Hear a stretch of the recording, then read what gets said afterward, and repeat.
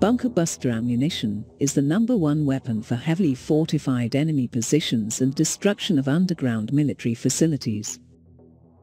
The penetrator bomb, NEB, developed by TÜBİTAK Sage, is produced with domestic facilities under the main contractor of MKEK.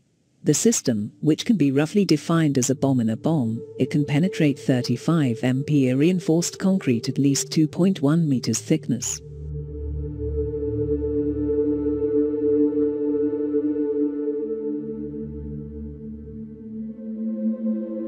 With the ONUR 1 MOD 4 front penetrator and FMU 152AB main penetrator, NEB weighs 870 kilograms.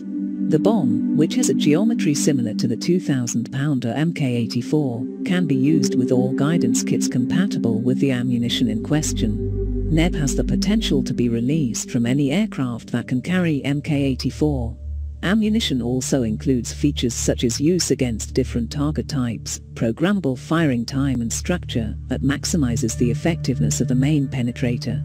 NEB offers effective solutions against many targets, such as underground petrochemical depots, dams, reinforced hangars, radar posts, and command control centers.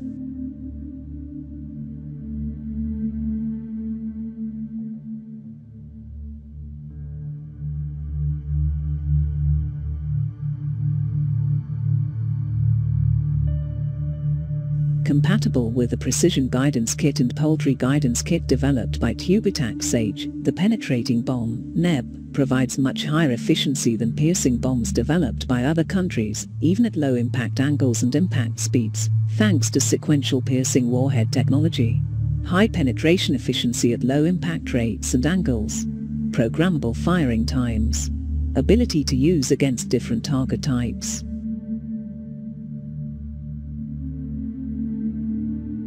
Deliveries of the penetrator bomb, which developed within the scope of the requirements of the Turkish armed forces, continue.